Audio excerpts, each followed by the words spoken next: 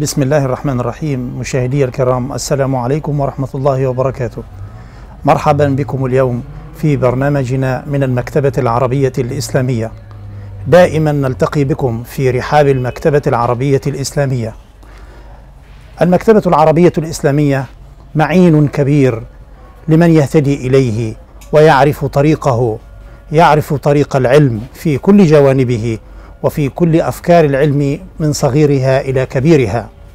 مشاهدي الكرام نلتقي بكم اليوم في رحاب كتاب من كتب المكتبة العربية وهو كتاب الأدب المفرد للإمام البخاري رحمه الله. فكما هو معلوم بأن السنة النبوية الشريفة اهتم بها رجال كثيرون قيض الله سبحانه وتعالى لسنة نبيه صلى الله عليه وسلم رجالا حملوا على عاتقهم مهمة كبيرة جدا وهي حماية السنة النبوية المشرفة. من هؤلاء الناس الذين اختصهم الله سبحانه وتعالى بهذه المهمة العظيمة هو الإمام البخاري رحمه الله. فالإمام البخاري رحمه الله اهتم بجمع أحاديث رسولنا صلى الله عليه وسلم في كتابه العظيم صحيح البخاري. وهذا الكتاب العظيم يشمل جميع ما قاله صلى الله عليه وسلم وفق المعايير التي وضعها الإمام البخاري رحمه الله. فكما اهتم الإمام البخاري بأمور الدين اهتم أيضا بأمور الدنيا وجمع لنا احاديثا كثيرة من أحاديث رسول الله صلى الله عليه وسلم جعلها تحت ما يسمى بالأدب المفرد في كتاب أفرده لهذا النوع ولهذا الصنف من علوم الدين. كتاب الأدب المفرد فيه يجمع الرجل الكثير من أحاديث رسول الله صلى الله عليه وسلم التي تدعو إلى الأخلاق الحميدة وإلى الأخلاق التي يجب أن يتخلق بها المسلم في كل زمان وفي كل مكان. بداية نود أن نلقي نظرة على مؤلف الكتاب وهو الإمام البخاري من هو الإمام البخاري الإمام البخاري رضي الله عنه ورحمه الله هو محمد بن إسماعيل بن إبراهيم بن المغيرة وهذا الرجل يرجع نسبه إلى أبي عبد الله بن أبي الحسن البخاري من مدينة بخارى.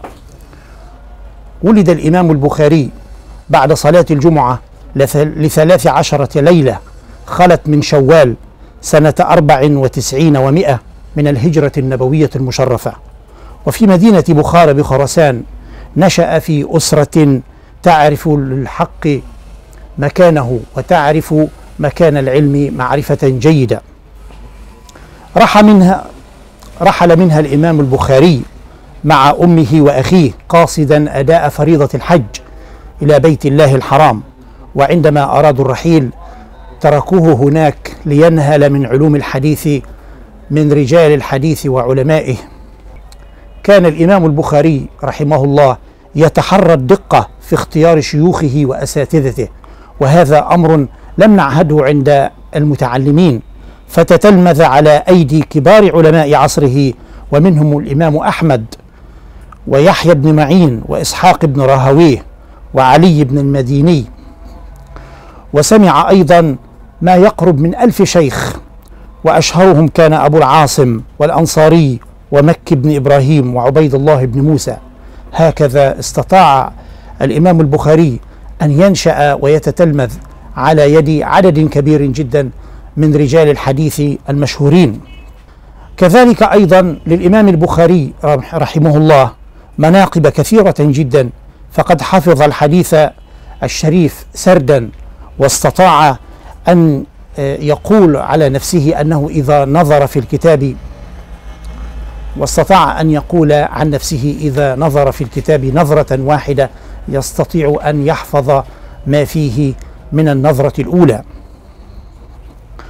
وروي عنه أنه قال أنه حفظ مئة ألف حديث صحيح وحفظ أيضا مئتي ألف حديث غير صحيح وهذا يدل على أنه جعل لنفسه معايير كبيرة جدا ومهمة جدا في تصنيف الحديث من حديث صحيح إلى غير صحيح. ويذكر أيضا أن للإمام البخاري العديد من المؤلفات التي اشتهر بها غير صحيح البخاري فله التاريخ الكبير كتاب التاريخ الكبير فبلغ الإمام البخاري درجة عالية من قوة الحفظ الواسع والنبوغ الكبير والفهم العميق وقد ظهر ذلك جليا في تأليفه لكتاب التاريخ الكبير. ويقال أنه ألف هذا الكتاب وهو في الثامنة عشر من عمره. ومما اهتم به أيضا الإمام البخاري في تأليفه وتصنيفه فقد صنف كتاب الجامع الصحيح وهو المعروف بصحيح البخاري والمشهور بين أيدي الناس بصحيح البخاري. ومن كتبه أيضا ومن مصنفاته أيضا كتاب الأدب المفرد وهو موضوع هذه الحلقة. هذا بالنسبة لمؤلف الكتاب. أما بالنسبة لمحقق الكتاب فهو الأستاذ الدكتور عمر حافظ سليم سعيدة.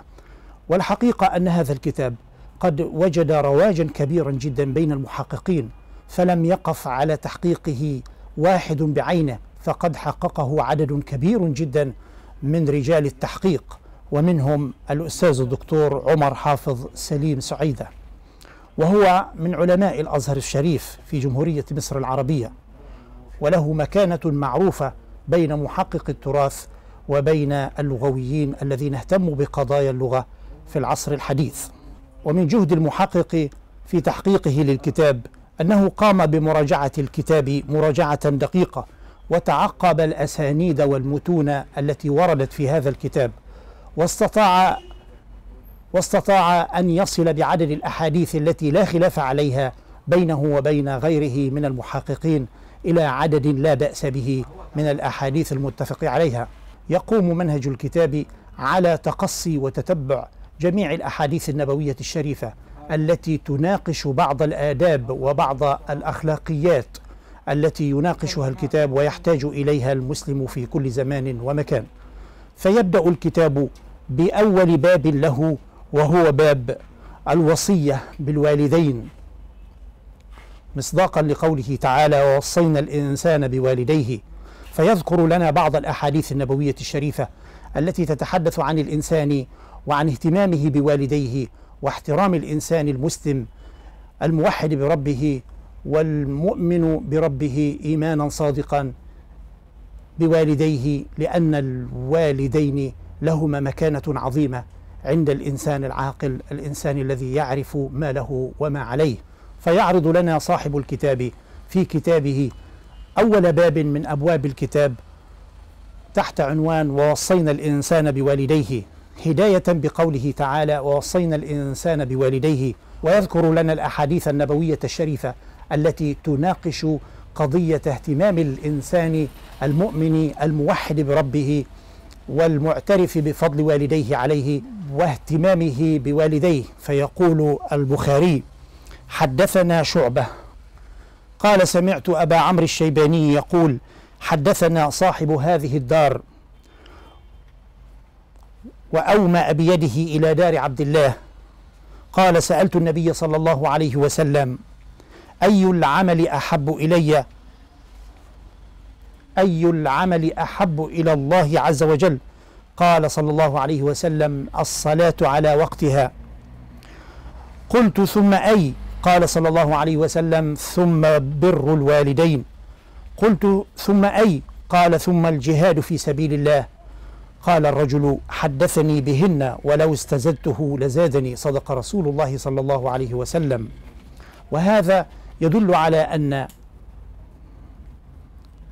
وهذا يدل على أن الاهتمام بالوالدين وطاعة الوالدين أمر عظيم يجب ألا يتخلى عنه أي مسلم من المسلمين.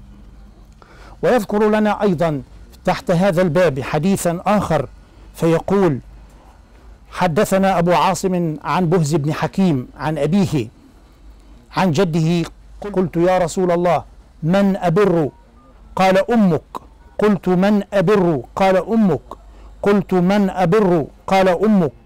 قلت من أبر؟ قال أباك. ثم الأقرب فالأقرب.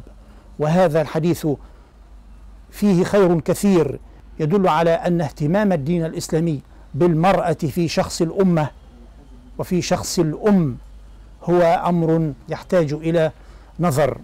ودليل على أن هذا الدين العظيم الدين الحنيف لا يفرق بين الرجل ولا بين المرأة ولكن الأمة لها خصوصية عند المسلم في حديث رسولنا صلى الله عليه وسلم. وفي هذا الموضوع أيضا يذكر لنا البخاري عددا كبيرا جدا من الأحاديث النبوية الشريفة فيروي لنا فيما نقله عن سليمان بن حرب.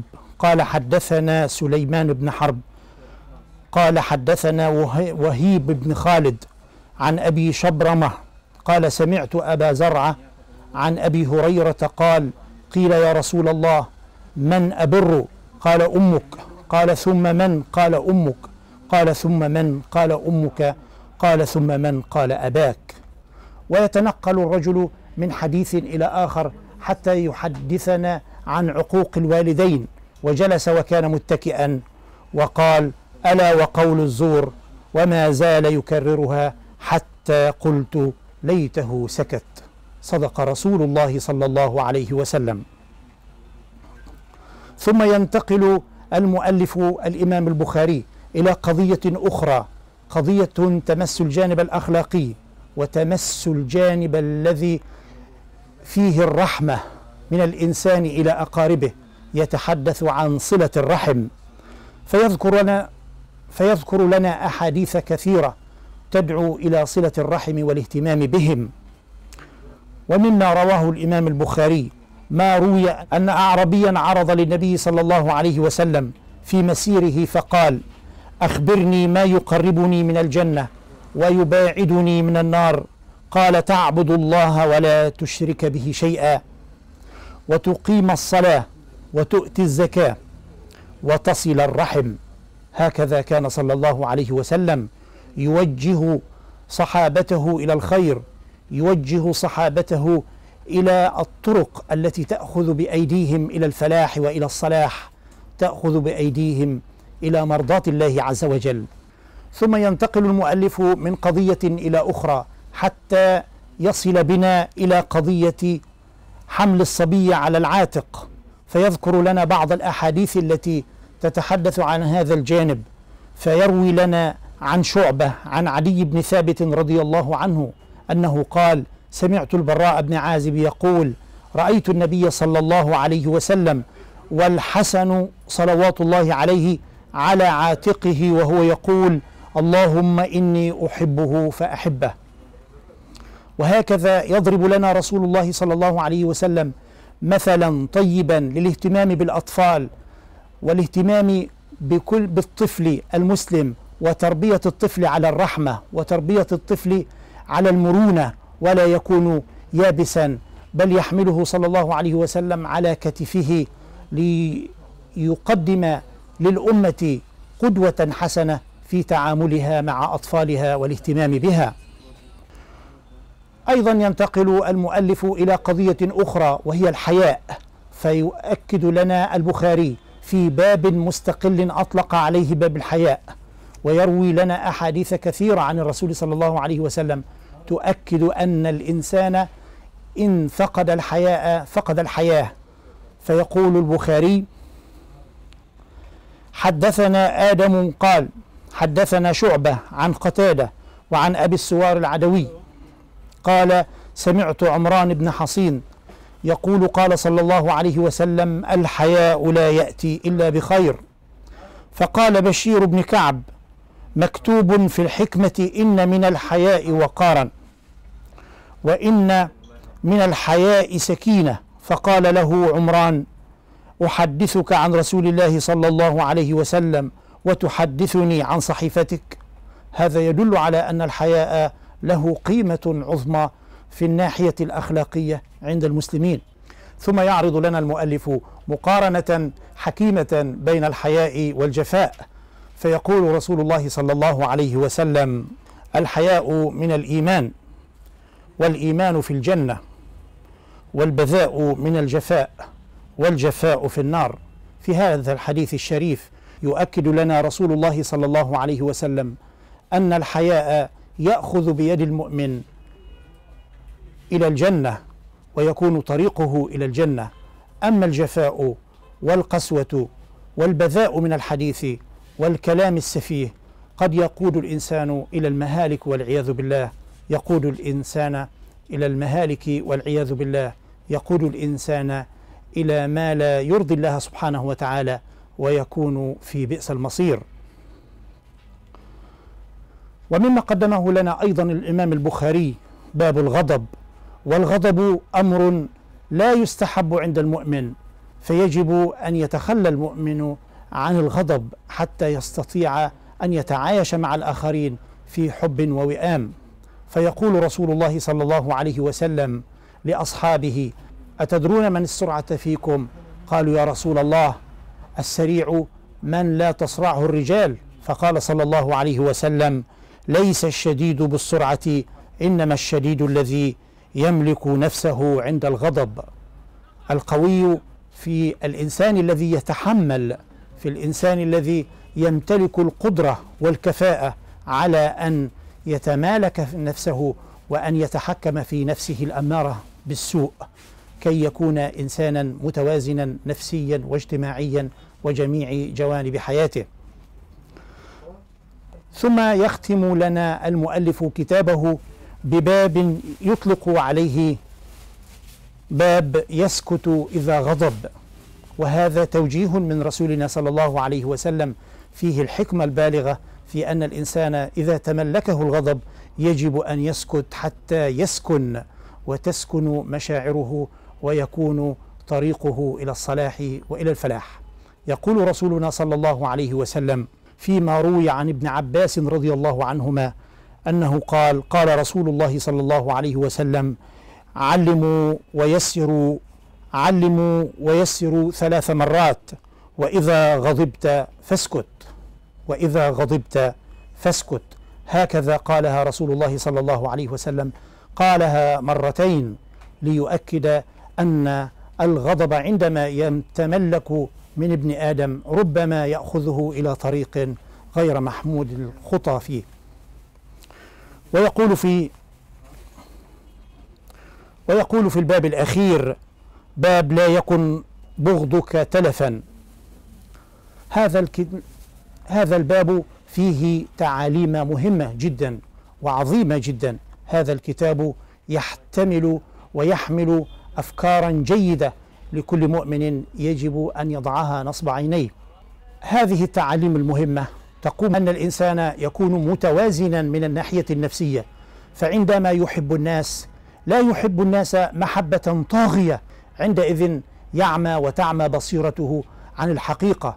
وعندما يغضب من الناس لا يعمي غضبه عينيه ولا بصيرته عن معرفة حقيقة الناس. ويؤكد لنا البخاري أيضا في بابه الأخير الذي يختم به كتابه كتاب الأدب المفرد حيث يؤكد لنا أن الإنسان يجب أن يتمتع بالتوازن النفسي فعندما يغضب من الناس لا يغضب منهم غضبا. يتلف العلاقة بينه وبينهم. يتلف العلاقة الاجتماعية التي قامت على المحبة والتي قامت على التواؤم والتي قامت على كل ما يرضي الله سبحانه وتعالى. فيروي لنا من الأثر عن سيدنا عمر رضي الله عنه عمر بن الخطاب رضي الله عنه فيقول حدثنا زيد بن أسلم عن أبيه عن عمر بن الخطاب رضي الله عنه أنه قال لا يكن حبك كلفا ولا بغضك تلفا. فقلت كيف ذاك؟ قال إذا أحببت كلفت كلف الصبي وإذا أبغضت أحببت لصاحبك التلف. معنى ذلك أن سيدنا عمر بن الخطاب رضي الله عنه وهو معروف بقوته وشجاعته وحكمته الكبيرة وحكمته العظيمة التي يحفظها الأثر له على مر الزمان وعلى مر تاريخ الأمة العربية والإسلامية. يقول لنا إذا أحببت الناس فكن متوازنا وإذا غضبت منهم لا تغضب غضبا يتلف ما كان بينك وبينهم من المودة والمحبة والإحترام. أيها الإخوة الكرام هذا ما كان في كتاب الأدب المفرد للإمام البخاري رحمه الله. وبهذا مشاهدي الكرام نكون قد انتهينا من هذه الحلقة التي كانت تدور حول كتاب الأدب المفرد للإمام البخاري. هذا الكتاب الذي يحمل في طياته الأخلاق الحميدة والمشاعر الطيبة وتؤكد لنا حقيقة بأن رجال العلم ورجال الدين ورجال الحديث كانوا يهتمون بأمور الدنيا وأمور الدين وهكذا نلتقي بكم في الحلقة القادمة إن شاء الله. والسلام عليكم ورحمة الله وبركاته.